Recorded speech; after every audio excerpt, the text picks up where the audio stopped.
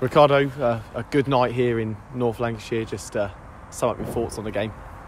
Yeah, good three points. Um, Defo played better than that, but all that matters, we got the three points, another clean sheet, and four goals. So just move on, get back home now.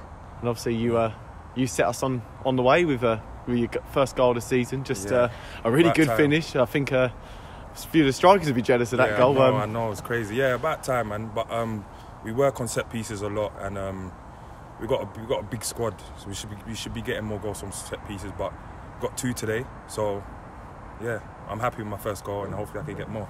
And obviously, it was a good defensive performance, clean Yeah. sheet. Just how beneficial is it having uh, Callum and Dan Sweeney Yeah, no, it's alongside good you? to it's good to have Callum there. His captain talks a lot, Sweeney, aggressive and stuff. So yeah, man, I'm enjoying playing three at the back. I'm, was it two clean sheets in a row now? So yeah, we look solid at the moment. Hopefully we keep it going and get some goals as well and climb up the league.